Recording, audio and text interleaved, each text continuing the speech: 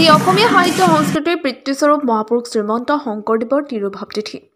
এই তিৰুভাৱ তিথিত ৰাজ্যজুৰি স্মৰণ কৰা হয় গুৰুজনাক।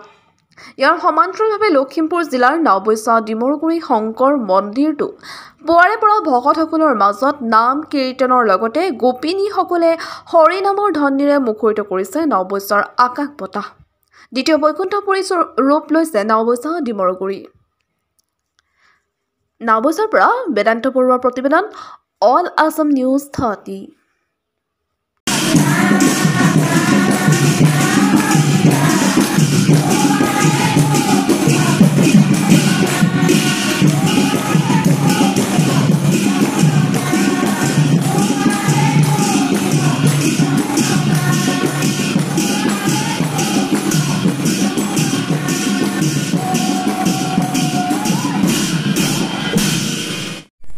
আজি অসমীয়া সমাজ জীৱন তথা সাহিত্য সংস্কৃতিৰ পিতৃস্বৰূপ মহাপুৰুষ শ্ৰীমন্ত শংকৰদেৱৰ মৃত্যুবাৰ্ষিকী।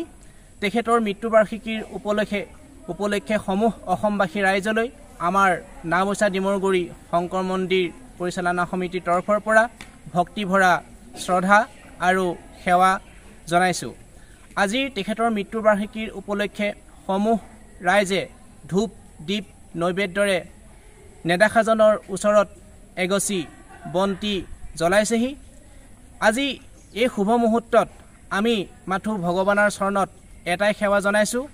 আমাৰ এই অঞ্চলৰ ৰাইজৰ মাজত যাতে এটা আধ্যাত্মিকতাৰ পৰিৱেশ গঢ়ি উঠি অন্ধবিশ্বাস কুসংস্কাৰৰ দৰে এই মহামাৰীবোৰ আঁতৰ হৈ সমাজখনক এখন সুন্দৰ সংস্কাৰমুখী যাতে পৰিৱেশ গঢ় দিব পাৰি।